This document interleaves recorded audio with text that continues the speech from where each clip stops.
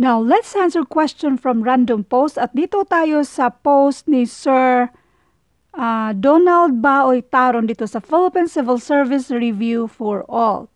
Pero bago natin basahin ito, mag-random shoutout muna tayo kay George Katera. Ma'am, ang galing mo po.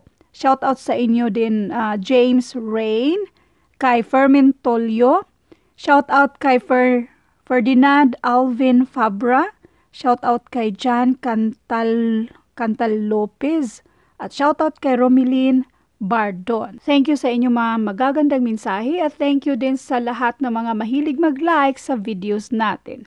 Now, basahin muna natin yung problem. The two numbers are less than the third number. Tatlo lahat ang number. Two numbers are less than the third number by 37% and 40% respectively. How much percent is the second number less than that than yan, less than the less than the first Maglagay tayo ng variables para ma-visualize nyo lang. Let this A, B, C be our three numbers. Ang nandito, two numbers are less than the third number by 37% and 40% respectively. Bali ito ay minus 37% at 40% respectively man kasi, so mag-minus ka rin dyan. Ngayon, para mas madali, itong si C natin, lagyan natin na ang value ni C ay 100. Kung 100 si C, mag-minus tayo ng 37 or 37% of 100. Of course, it is also 37. So, i-erase natin yung percent na yan. Lagyan din natin ng 100 dito. 100 minus 37 and that is equals to 63. Yan si number A. Next, ito namang si B, ang value ni B ay less than 40% dito sa third or itong C natin. So si C natin ay nilagyan natin ng 100. Pwede mo mang lagyan ng 10, 200, kung anong numbers ang ilagay mo sa C. Pareho lang din ang sagot, pero mas maganda kung 100 na para hindi na tayo mag-solve-solve pa. Kasi kapag 100, ang 40% dyan ay 40 lang din. So, lagyan natin ng 100 dito. Tapos, i-delete na natin ng percent kasi 100 minus 40 and that is equals to 60. Itong 60 na to, yan ay 40% less dito sa third number na 100. Ngayon, kung ang tanong ay, what are these numbers? Hindi pwede kasi ang given, kulang yung given. Ito mga numbers na thir- uh, 63, 60 at 100, hindi yan yung exact na answer. Pero, kung magbase lang tayo sa third number na 100, itong first number na 63, yan ay 37%. Less than 30 per, 37% dito sa 100. While itong si 60, yan ay 40% less dito sa 100. Kapag sinabing respectively, magkasunod yan siya. So ito si yung A natin yung first number at ito naman yung second number. So si 100 yun yung third number. Ang tanong, how much percent is the second number less than sa first. Balikan natin yung tanong. How much percent, percent ang hinahanap, is the second number less than sa first? So, ibig sabihin kunin natin yung difference dito. 63 minus 60, that is equals to 3. Now, saan kinukumpara? Kinukumpara? sa first number na 63. So, yan yung denominator natin. In other words, 3 divided by 63. Kung kukunin mo lang yung difference, hindi nyo sinagot yung mismong tanong. Kasi ang tanong dito ay how much Isa pa, base sa given problem, kung kukunin mo lang yung difference sa first number sa second number, between sa second number, marami tayong sagot dyan. Kasi, what if yung third number natin ay hindi 100? 100 ang nilagay natin. What if 200? Magkaiba na yung difference nila.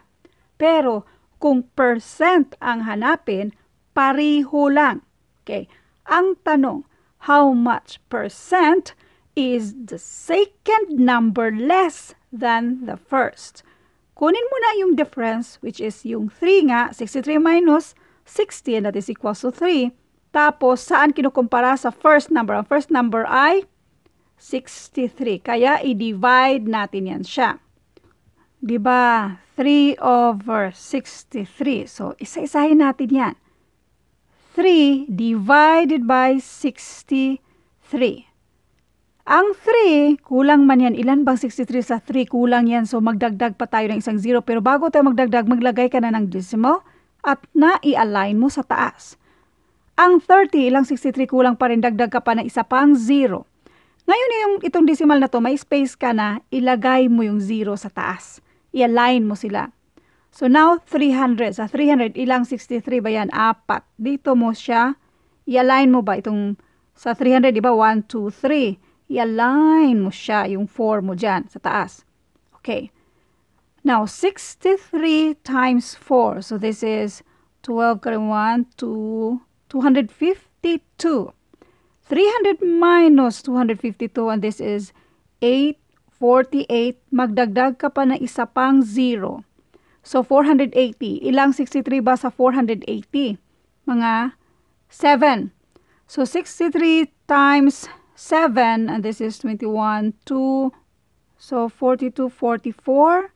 480 minus 441, this is uh, 9, 739. Tapos magdagdag ka pa ng isa pang 0. So, 390. Ilan bang, ano tawag dito? 63 sa 390.